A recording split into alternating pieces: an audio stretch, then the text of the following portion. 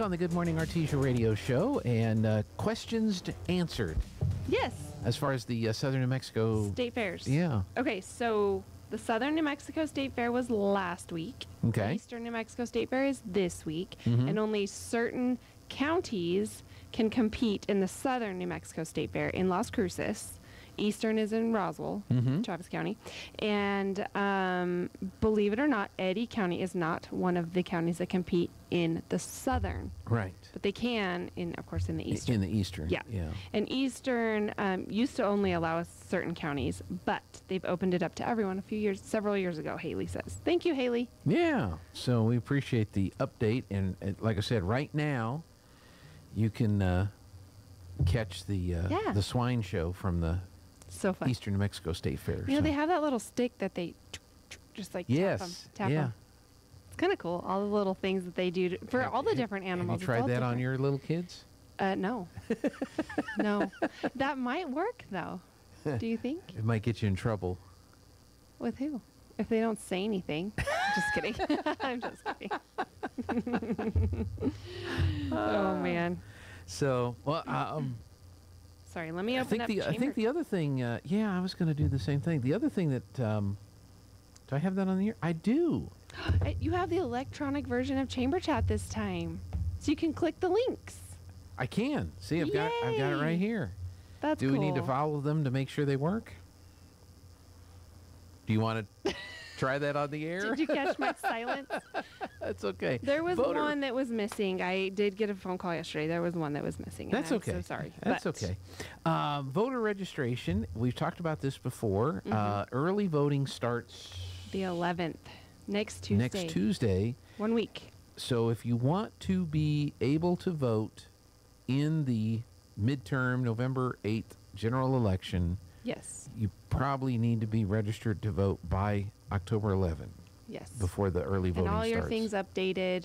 So if you are not registered or you need to update address, county, whatever, Mm-hmm. um, please stop by the chamber. We have the forms. Any of us can help you with it, um, and then we'll get that ballot mailed off, or not ballot, but the the form mailed off for you guys. Okay. So, and then the thing th- on the chamber chat is a per- one of the perks of being a member, or I mean, it could be any company, but if if your people, because we are open Monday through Friday, eight to five, but if your people work five to five, you know, or whatever, and they can't make it into the chamber during our office hours, um, we'll come to you. If you've got a, a chunk of your staff or you know managers or whatever that need to be registered to vote, mm-hmm. we'll come out there. Just holler at us. Okay. Let us know. So you are certified registrars. Yes, it's called. Man, it has an acronym. Okay. I think of VRA.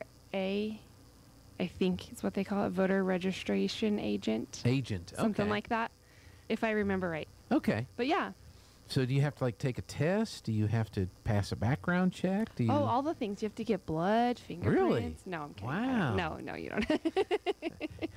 And what was the No. name of your first pet? yeah, exactly. all your passwords. And your mother's maiden name and all Yeah. that stuff? yeah. Uh, no, so you guys are. Yes. You've got s- several of your staff members that are All three of us. authorized for that. Okay. Yes, sir. Yeah. So one week away, um, but if come to the chamber if you can. If you have a lunch break, whatever, we're open. Um, if you can't, then holler at us and we can come to your facility or your workforce, and we can come at a different time if it happens to be super early in the morning or late at night. uh, we will make it work. So, good, yes. good. Well, that's that's a good service to be able to offer, and if you're a chamber member, you guys don't. Yeah, we want to be better than 50% Mhm. last time, you know? Yeah. So we really want people to come out and vote um, in this election, and we've got a week to register. So get registered if you're not. Yes. Get updated if you need to. Mhm. Uh, otherwise, if you're up to date and registered, get ready to vote Yes. uh, early and often, as we used to say back in Mississippi. Um, Yes. no, so early voting. I'm not a huge fan of the early voting thing. Yeah. I, I kind of think, you know, election day is election day, and you should vote on election day unless you can't and that's what the absentee process is for. But uh, we're we're such a our attention span is nanoseconds, Yes. and we're we're too busy, and so we make all kinds of excuses as to why we can't vote on election day because Yeah. I got this to do, that to do, whatever. Um, I think Mike Winters has said that had mentioned this as an idea, and I'm sure other people have as well. We ought to make election day a national holiday. Yeah. and so the banks are closed the post office isn't running it you know it's it's a federal holiday so schools are closed i mean everything is off and you just minimize as many excuses as possible for people to not vote obviously you've got your emergency services and essential services and and other people that are going to be open but the polls are open for 12 hours Mm-hmm. Yeah. uh, you would think, uh, and I think I would think most businesses, not everyone, but most businesses are probably accommodating. Hey, can I have an extra half hour at lunch today? I'm going to go vote. Yeah, for sure. Not not everybody can, but I, Right. I would think most Right. of them are that And way. And usually there's, you know, it used to be also the location. You had to go to your certain location, and now it's the convenience location. So I think Artesia has three or four different convenience locations, and Carlsbad you can go have to a any bunch. of them. Yeah. Yeah, and you, that's kind can of be cool. Mm-hmm. in Carlsbad if you're an Eddy County resident, registered in Eddy County. You can go to any of the voter destinations. oh yeah, Uh, locations in. Eddy County. So if you're in Jal. Yeah. Well, that's Right. not Eddy County. It's not Eddy County. That's Lea County. Oh, So just that kidding. would cause a problem If you live in Jal or go to Jal for the day, do not try to vote in Eddy County. in Eddy County. That's right. Sorry, Vote in Lea County. my mistake. That's that's okay. Haldeman Hermosa. It's fine. I know. it's crazy, and it's not like I want to make a mistake. I know. I'm trying, but um, yeah, anywhere in Eddy County. So if you're in Carlsbad and you're not going to get back to Artesia, Mm-hmm. go by a, a, a voting location in Carlsbad. Or if you're in Artesia and you're not going to get back to Carlsbad, you're you're right. You can go to You any of the voting yep. polling places on election day. And it furthermore, if you show up and there's a big long line at one of them, Mm-hmm. one another one two minutes away Yeah. may not have a long line. You That's never right. know. That's so, right. Or you could do like I did Sunday. what'd you do? I walked back and forth at the Walmart trying to find the an open uh, checker. Oh. hey, at least you got some steps instead of your stand goal. You got steps goal. I got steps in. That's right. Until I got behind the lady in the cart and it was going like two steps a second. You know, it's Yeah. like, gotta go. I gotta go. Yeah. Oh, you know, I got stuck this weekend. And I tell Lana these tales of woe, and she's like, "Shh." Every day. Yeah, yeah. You got stuck where? At Walmart, Uh-huh. I got stuck um, on. So on Saturday night, I had taken things out of my purse to put it in my pockets. I don't have to carry my purse at Red Dirt Black Gold, right? Right. Well, forget to put it back in my purse. Of course. So I get to Walmart to the checkout, and I don't have my debit card. Mm. I'm so thankful for that little scanner bar thing on the Walmart app, or else I would have been like, "Oh, Yep. Yep. go put it all away. Yeah. I'll be right back with my debit card." I bought a new monitor for Jeffrey, hmm and it had the strings with the security thing on it. Oh yeah. And at the checkout, her she didn't have hers, so I had to go to customer, service. Oh no. Took four different people before Mm-hmm. they finally got it to detach. Wow. You know, I was about ready just to grab a scissors and go. You know, Yeah. y'all figure this out later. I'm going, Yeah. but they finally Huh. figured it out. Was it? They just didn't know how. To, were they it wasn't new? being no, no. I think it was just being uncooperative. Oh. Yeah. It happens. It, it happens, yeah. And it was just uh, funny. But I got to hear an interesting story. Apparently, somebody had bought a TV, left, came back to return it, got their money back, and then when the store staff opened up the box, was not the same television oh no! that was on the box. They put their old TV in. Yeah. And kept it. yeah, Those little thieves. uh, that's what they are. Did they? Well, if they would have paid with the card, they would have known who it was. But if they paid cash, Yeah, yeah. dang, Isn't that crazy? Pe- the things Yeah. that people will do to Yeah. to that's not nice. it's not. It's not. It's just it's wrong. People are Yeah. people are wrong. So I got to hear that story while they were going know- through different people trying to get my I have a confession story. Uh oh. Do we have a, a confession music? Come on, man. No. Uh, so, uh, first moved back from college to Roswell, Okay. bought our first house, starting to put furniture and things in it, right? Mm-hmm. Well, poor college kids don't, you know. So we go to Sam's Club for our first dining room table. Found what I wanted. I mean, it's perfect. I loved it. Okay. So get the table, and didn't have a way to pick it up that day. So I'll be back from with my husband's truck, whatever, whatever. So I go. They they said we'll call you when we have it in the bay. You pull up in the back, whatever. Yeah. Okay. Well, that happened like a week later. So they call, come pick it up. All right. I go pick it up. Well, it was under his name. mm-hmm. And I, I I- hey, I, we're husband, wife, whatever. This is my name, you know, whatever, whatever. I signed for it. They highlighted it. They picked, it's picked up. It's whatever. I go home. We put it together. We're enjoying the table. Yeah. A week later, Mm-hmm. we get a phone call from Sam's Club saying, "Can you please come pick up your table? If you don't pick it up, we're gonna have to put it back out on the floor." Whose table did you get? And I said, "Well, um, we already picked up our. I, I'm, we've got it. We, we- we're good. I don't. we- Yeah. You know, we, well, no, ma'am. We've got your table here at customer service. We really need you to come pick it up." And I'm like, "Okay, I'll be right there." So, so here's my confession. You got two tables. I got the table and, and I said, you know, it just wasn't our style. Can I can I get a refund? oh. So we ended up with a brand new Dyson vacuum, Uh, a ladder, other things that we needed for the house. And I'm like, well, I tried to tell y'all. I did already pick it up. yeah, you tried. Well, you- weren't intentionally trying to. I wasn't It intentionally. is weird. Shopping experiences are weird. We bought a little portable generator at a big box store in Roswell, Mhm. and uh, three, four, five days into using it, the pull rope came out.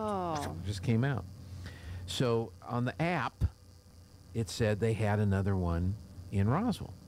So I put everything back in the box. We go up to Roswell, and I said, "This has got a defect. Can I exchange it for the one you've got here in the store?" Mhm. They can't find it. It's on the app. It's showing on their inventory. But it's gone. They can't find it anywhere. Nowhere to be found. I said, "Well, what do we do?" Well, we'll let the manager know, and they'll order another one, and that'll trigger one to come in. So we wait three, four days. Mhm. Call them back up. Hey, did you ever get? It's it's showing you still have the one. You ever get that in? No. Well, what are we going to do here? Yeah, I got a what's defective generator that doesn't work, and you have one on the shelf that you can't Supposedly, find yeah. or whatever. And he says, um, order it online. Another one. Have it shipped to store Mhm. and then you can bring your old one in and we'll swap them out that way. So that's how I was able to get the other one in is I ordered the replacement on Did you have to pay twice? No, no. he I- I- refunded you for the okay. yes, Good. yes. I went through the whole process. But it's it was weird because either clear it out of your inventory Yeah. or get another one in. And I'm I'm thinking a lot of these places uh, new shipment of stuff is triggered by inventory levels. So as Mhm. long as it was showing that they had one in the store, it was never going to trigger. They couldn't So- order another one. yeah, it, I'm, I'm Oh. thinking that has a lot to do with some of these Yeah. some of these places, you know. Yeah. Um, That's but it was it was yeah. weird what we had to go through to get that new one. resolved Hmm. um, on that. Yeah, and if they take it out of inventory, there's probably a ton of paperwork the manager has to do to Yeah. report why it's out of inventory, but it wasn't sold. Yeah, yeah, yeah. And I'm don't know. thinking, well, that's not my problem. True. I just need a generator that works. I don't need Yeah. this generator, Yes. you know. Yes. So you you all figure out what your problem is and, and correct it on the back end. Yeah. It, yeah, it is it is crazy and then and but I you're a thief. I mean, I tried to but it's not to like tell you them. tried to do I that. I did, and yeah. I think it was just because his name was on the table, and I signed my name. maybe, I don't know. or maybe two different people. pull- I, who knows? And you know what is really cool about that? yeah. I had the table for years and years and years. Um, And the Dyson vacuum Yes. actually just went out last year. so it worked out great. Oh my gosh. Anywho. Well, shopping stories with Jean and Jessica.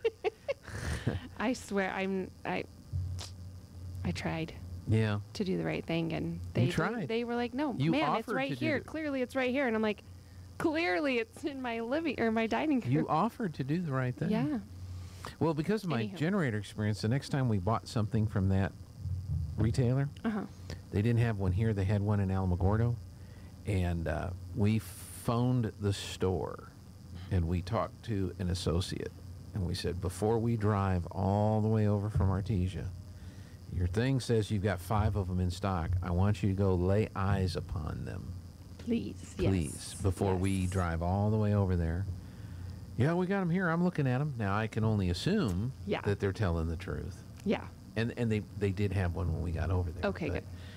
But yeah, you get a little Nervous. nervous when you look at the inventory number, you know, what's in Mhm. stock. And then the other one that's um, limited supply is another term that you'll see on the app sometime, which means it may or may not be there.